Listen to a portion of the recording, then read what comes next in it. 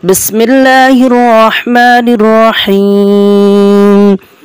إن الذين آمنوا وعملوا الصالحات كانت لهم جنة كانت لهم جنات الفردوس نزلا خالدين فيها لا يبغون عنها حولا.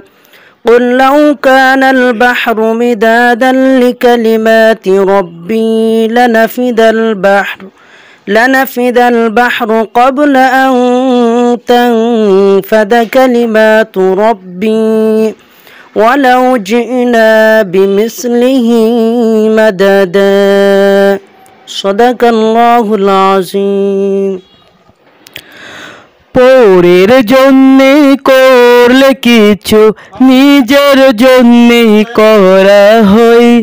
আল্লাহ তালার তরফ থেকে যাই পাওয়া তার বিনিময়। পরের জন্যে করলে কিছু, নিজের জন্যে করা হয়। আল্লাহ তালার তরফ থেকে যাই পাওয়া তার বিনিময়। সাপ্তাহিক সুরুক এর সম্পাদক এবং সুরুক সাহিত্য মজলিসের সভাপতি হাকিম ফজিলুর রহমান। আসসালামু আলাইকুম। সম্মানিত আজকের সবার সম্মানিত সভাপতি আলহাজ আব্দুল মালিক দুলাল এবং সাদেকুর রহমান রতন, কারুল ইসলাম এবং আজকের যে আমাদের মধ্যমণি হুসনে আরা পুতুল যাকে আমরা আজকে পুরস্কৃত করব, এই শীতের, এই প্রচণ্ড শীতের মধ্যেও আজকের এই বিকালে ওনাদের সকলের উপস্থিতির জন্য আমি সবাইকে আমার অন- অন্তঃস্থল থেকে ধন্যবাদ জ্ঞাপন করছি। আজকে যেহেতু যেহেতু ষোলো তারিখ থেকে সভা সমাবেশ নিষিদ্ধ ঘোষণা করা হয়েছে, এই জন্য আমাদের অনুষ্ঠানটা খুবই কাটো করতে চাচ্ছি। খুব স্বল্প সময়ে শেষ করতে চাচ্ছি। আলোচনাও কাটু হবে, সমাবেশও কাটু করা হয়েছে। আর আপনাদের কাছে আজকের এই কষ্ট স্বীকারের জন্য আমি আন্তরিক ধন্যবাদ এবং কৃতজ্ঞ, কৃতজ্ঞতা বোধ করছি। আরেকটা বিষয় হলো যে, সাপ্তাহিক শুরু হাঁটি হাঁটি পাপা করে একত্রিশতম বর্ষে পদাপন করেছে। এটা নেহায়াত একটু দোয়া কায়ের করতে হয়। একটা পত্রিকার একত্রিশতম বর্ষর উদযাপন অনেকটা দূরহ একটা কঠিন ব্যাপার। এটা ইতিহাসে একদিন মাইল ফলক হয়ে থাকবে। ইতিমধ্যে কিশোরগঞ্জের পত্র পত্রিকার মধ্যে এই সুরুক একটা অন্যতম পত্রিকা এবং সুরুক অনলাইনটাও অত্যন্ত অত্যন্ত মানে কি ইতিমধ্যে সুনাম কুড়িয়েছে। রেগুলার এটা পোস্ট হচ্ছে নিউজ কত হলো আপনাদের দোয়া, শুভকামনা? সকলে আজকে আমার, আমা, আমি খুব কায়বাক্যে প্রত্যাশা করছি, দোয়া করবেন যাতে সাপ্তাহিক সুরুক বেঁচে থাকে বেঁচে থাকে যেন তার কৃতকর্ম এবং তার ইতিহাস। আসসালামু আলাইকুম। সাপ্তাহিক শুরুকের একত্রিশতম বর্ষে পদার্পণ। উপলক্ষে আজকের আয়োজিত অনুষ্ঠানের সম্মানিত সভাপতি, প্রধান অতিথি, বিশেষ অতিথি, সকলকে আমার পক্ষ থেকে আন্তরিক শুভেচ্ছা ও অভিনন্দন। আসলে একটি পত্রিকা ধরে রাখা খুব কঠিন। ফজলু ভাইকে ধন্যবাদ জানাই এই জন্য যে এই পত্রিকাটাকে একত্রিশ বছর পর্যন্ত ধরে রেখেছে এবং আগামী দিনগুলোতে ধরে রাখার পরবর্তীতে যা কার্যক্রম তা ইতিমধ্যে তিনি বাস্তবায়ন করতেছেন। তার ছেলেকে এবং দুই ছেলেকে আমার জানা মতো যে এই পত্রিকার সাথে সম্পর্ক গড়ে তুলেছে এবং তারাও খুব আন্তরিক পত্রিকার বিষয়ে। আমি আজকের যারা এখানে উপস্থিত হয়েছেন সকলের সহযোগিতা যেন সবসময় পায়, স্বরূপ। এই কামনাই করি। বিসমিল্লাহ রহমান রহিম। হাঁটি হাঁটি পাপা করে একত্রিশ বছরই পদার্পণ করেছেন সুরুক পত্রিকার, সাপ্তাহিক সুরুক।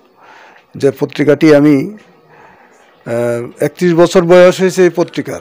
আমার বয়স পঞ্চাশ। রানিং। তো আমি এই পত্রিকাটি একত্রিশ বছর আগে থেকে আমি এটার নাম শুনে আসছিলাম। তা আমার ভাগ্যক্রমে আমি এই পত্রিকার স্টাফ রিপোর্টার বর্তমানে। আমার বিভিন্ন কাজে কর্মের সাথে এই পত্রিকা সবসময় আমার সাথে থাকে। আমার একটা পরিচয়পত্র ফজলু ভাই সম্মানের সহিত দিয়েছে। এই জন্য ফজলু ভাইয়ের প্রতি আমি কৃতজ্ঞ। একত্রিশ বছর একটি পত্রিকা ধরে রাখা অনেক কঠিন বিষয়।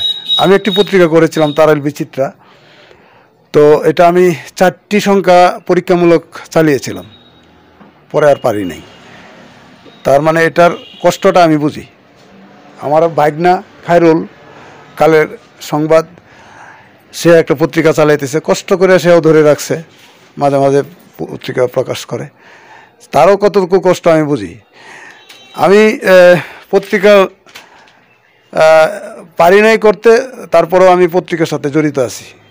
আমার সাহিত্য সংসদ তারাইল আমি প্রতিষ্ঠা করেছি। আপনাদের কিশোরগঞ্জ, আমারও কিশোরগঞ্জ কিশোরগঞ্জ জেলা সরকার সংসদের আমি সাধারণ সম্পাদক, যারা তেরোটা উপজেলার প্রতিনিধিত্ব করে। সভাপতি জাহাঙ্গীর আলম জাহান। তো আমি আসলে কিশোরগঞ্জের মানুষের সাথে আমার একটা সুসম্পর্ক আছে। আপনারা যারা এখানে কলাপাড়াবাসী, আপনাদের সাথেও আমার আজকে নতুন করে কিছু পরিচয় হলো, আমার খুব ভালো লাগতেছে। আর আজকে যাকে সম্মানিত করা হইতেছে, সে আমার তারা অনলাইন প্রেস ক্লাবে অর্থ সম্পাদক এবং তারা সাহিত্য সংসদের তথ্য প্রকাশনা সম্পাদক। তো এই মেয়েটি আমার বোন, আমার প্রতিবেশী এবং সে খুবই মানে একেবারে ছোট থেকেই সে তার একটা আগ্রহ ছিল লেখালেখি করার। যখন প্রাইমারিতে পড়ে তখনও সে লেখার একটা আগ্রহ ছিল। এবং বই পড়তে পড়তে এক সময় সে এখন লেখক হয়েছে। মাঝে আরও আমাদের তারাই থেকে মেটুপথ সাহিত্য উদ্দীপনা পদক পেয়েছে। তার সাত আটটি বই বের হয়েছে। আমিও, আমারও বই বের হয়েছে, উনত্রিশটি বই প্রকাশিত। তো আমরা আসলে এই যে তারাইলে আমরা কাজ করি ফজলু ভাইয়ের যে পত্রিকাটি, এটার মধ্যে আমরা লেখা দিই মাঝে মাঝে। তার পত- তার লেখায় উজ্জীবিত হয়ে ফজলু ভাই আজকে পুরস্কৃত করছে, সেই জন্য আমাদের সংগঠন থেকে ফজলু ভাইকে আমরা অভিনন্দন জানাই। পাশাপাশি আপনারা যারা উপস্থিত হয়েছেন তাদের প্রতি কৃতজ্ঞতা রেখে আমার সংক্ষিপ্ত বক্তব্য এখানে শেষ করলাম। সবাই ভালো থাকবেন। আজকের বিষয়, আজকের বিষয়টি শুনে আমার খুবই ভালো লাগল যে একজন মহিলা, সেই তারাইল থেকে সুন্দর বই লিখে এবং ওনাকে উনি প্রাইজ দিয়ে উৎসাহিত করবে। বিষয়টি আসলে একটু ভাবার মতো। উনত্রিশটি লিখেছেন উনি বলছি, আমি বলছিলাম একটিও পারব না। আসলে পারব, ইচ্ছে করলেই পারা যায় বাট এই সময়টা বা মন মানসিকতা হয়ে ওঠে না। আর এই সুরকের একত্রিশ বর্ষে পদার্পণ, এই সাপ্তাহিক শুরুকের এটা অনেক একটা কঠিন ব্যাপার। দীর্ঘদিন একত্রিশ বছর অনেক সময় এটা হাল ধরে রাখা বা এটা চালিয়ে যাওয়ার মতো মন মানসিকতারাও অনেক কঠিন একটা বিষয়। তাই যিনি চালিয়েছেন এবং যারা ওনার সহকারী, সাহায্যকারী হিসেবে আছেন, তাদের প্রত্যেককে, আমার পক্ষ থেকে এবং আমার কলাপাড়ার বাসীদের পক্ষ থেকে এবং যারা আসছেন তাদের পক্ষ থেকে আমি জানাই আন্তরিক শুভেচ্ছা, অভিনন্দন। এবং এবং আমি আশা করি যিনি এই ফজলুর রহমান সাহেব, এই, উনি এটার পিছনে অনেক শ্রম দিতেছেন, আমি ওনার দীর্ঘায়ু কামনা করি এবং আরও যুগ যুগ উনি এই সুরুক পত্রিকাকে চালিয়ে নিয়ে যাক। এটাই আমার প্রত্যাশা এবং আজকে যারা কষ্ট করে আসছেন, তাদেরকে আবারও ধন্যবাদ এবং আসসালামু আলাইকুম। একত্রিশ বর্ষের পদার্পণ এর দিনে। আসলে এই দিনটা স্মরণ করছেন আমাদের মুরব্বী ফজলুর রহমান সাহেব, ফজলুল হক। তিনি এই দীর্ঘ একত্রিশ বছরেই এই পত্রিকার পিছনে মেহনত করে এই পর্যন্ত আসছেন। তা আমার বক্তব্য হলো যে উনি যাতে ভবিষ্যতেও যতদিন আল্লাহ হায়াতে রাখেন, সুস্থ অবস্থায় এর আঞ্জাম দিয়ে যাইতে পারেন এবং তার সুযোগ্য ছেলেরাও এই কাজে সম্পৃক্ততা। আর একটি দেখলাম এখানে লেখা বই যিনি হুসনে আরা লেখছেন। হুসনে আরা নামটা শুনেই মনে হলো যে ফজলু ভাইয়ের যে বড় মেয়ের নাম হুসনে আরা। আমার ছাত্রী, আমাদের ছাত্রী, তো এই নামের সাথেও সুসম্পর্কই ভালোই। তাই দোয়া করি এই লেখিকা যেন আরও লেখে। হ্যাঁ উজ্জ্বল কামনা করতে পারেন। এই জন্য সকলের সুস্বাস্থ্য কামনা করে আমার বক্তব্য এখানে শেষ করলাম। বিসমুল্লাহ রহমান রহিম। একত্রিশতম সুরভ পদার্পণ উপলক্ষে আজকের এই সবার সম্মানিত সভাপতি উপস্থিত সকল অতিথিবৃন্দ, আসলে ফজলু ভাই সাংবাদিক, উনি যে পত্রিকা শুরু করছে একত্রিশ বছর আসলে পত্রিকা সংবাদপত্র হলো মানুষের মনে আয়না। উনি এই যে মনের মানুষ, উনি লেখক, দোয়া করি ওনার পত্রিকা দীর্ঘজীবী হোক, উনিও সুস্থ থাকুক যাতে পত্রিকা উনি ভালোভাবে চালিয়ে যেতে পারেন। এই কামনা করে আমার বক্তব্য শেষ করছি। আসসালামু আলাইকুম। এক চরম ক্রাইসিসের মধ্য দিয়ে আমরা, বিপর্যয়ের মধ্য দিয়ে আমাদের সময় পার করতে হচ্ছে চারিদিকে উদ- উদ্বেগ উৎকণ্ঠা। যার জন্য ইচ্ছা করলেও বা ইচ্ছা থাকলেও আমরা অনুষ্ঠানটিকে আমাদের মন, আমরা যেভাবে চাচ্ছিলাম সেভাবে হয়তো বা করতে পারিনি। প্রত্যাশার জায়গায় হয়তো বা আমাদের কিছুটা ত্রুটি আছে, কিন্তু মানসিকভাবে আমাদের কোনো দৈন্যতা নেই। দৈন্যতা নেই বিধায় এই স্বল্প পরিসরেও এখানে যতটুকু সম্ভব এখানে অত্র অঞ্চলে গণ্যমান্য ব্যক্তি এবং শিক্ষা, শিক্ষক শিক্ষা অনুরাগী সকলেও সাংবাদিক কর্মী যারা আছেন তারা উপস্থিত হয়েছেন। বিশেষ করে আজকে যাকে সম্মাননা দিতে যাচ্ছি সেই তার সম্পর্কে তার পরিচয় সম্পর্কে আপনারা অনেকের কাছ থেকে শুনে আমাদের যারা বক- বক্তব্য দিয়েছেন ইতিমধ্যে তাদের মুখ মুখ থেকে শুনেছেন। তবে আমি ব্যক্তিগতভাবে স্বরূপ সাহিত্য মজলিস এবং সাপ্তাহিক আহ, সম্পাদক এবং এর সকলকেই যারা আজকের এই অনুষ্ঠানটি করবার জন্য যারা অনুপ্রাণিত করেছেন তাদেরকে ধন্যবাদ জানাই এই জন্যই যে একজন নারীকে তারা সম্মাননা দিতে যাচ্ছেন আর সেই নারী হচ্ছে, হুম জনাব হুসনে আরা। তারাইল থেকে আগত, তিনি আমাদের কিশোরগঞ্জ জেলা শহর থেকে বলা যায় একটা প্রত্যন্ত অঞ্চলে বসবাস করেন, কিন্তু প্রত্যন্ত অঞ্চলে বসবাস করলেও তার চিন্তা এবং চেতনার জায়গায় তার এতটাই শানিত অবস্থা যে সাত আটটি গ্রন্থ ইতিমধ্যে ওনার হ্যাঁ প্রকাশিত হয়েছে। আর আমাদের উচিত আমরা যদি আমাদের প্রজন্মকে এবং আমাদের ভবিষ্যৎটাকে আমাদের কল্পনার মতো করে সুন্দর করে সাজাতে চাই তখন উচিত এরকম সৃষ্টিশীল মানুষ যারা আছে যারা এই ভাবেন লিখেন তাদেরকে প্রাণিত করে তাদের চিন্তাটাকে আরও বেশি সুপ্রসারিত করে আহ, সুন্দরভাবে উপস্থাপন করা। আর এই ক্ষেত্রেই আমাদের স্বরূপ সাহিত্য মজলিস থেকে আজকের সম্মাননা যাকে দেওয়া হচ্ছে, এ পর্যায়ে তার হাতেই সম্মাননা প্রদান, সম্মা- সম্মাননা স্মারক তুলে দিবেন হুসনিয়ারা জনাব হুসনিয়ারা বেগমকে। আজকের অতিথি সভাপতি এবং সুরুক সাহিত্য মজলিসের যারা উপস্থিত আছেন তা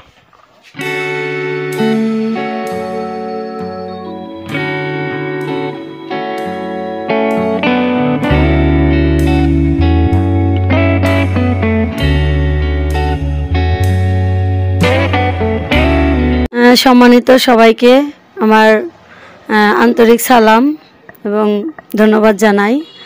তো আজকে এই বিশেষ একটি দিন আমার জন্য স্মরণীয় হয়ে থাকবে। আমি আজকে খুবই আনন্দিত এবং আমি আমি আসলে শুরুতেই জানাচ্ছি যে মহান সৃষ্টিকর্তা, ওনাকে আমি, ওনার কাছে আমি কৃতজ্ঞ এবং ওনার ওনার কাছে আমি শুক্রিয়া আদায় করছি।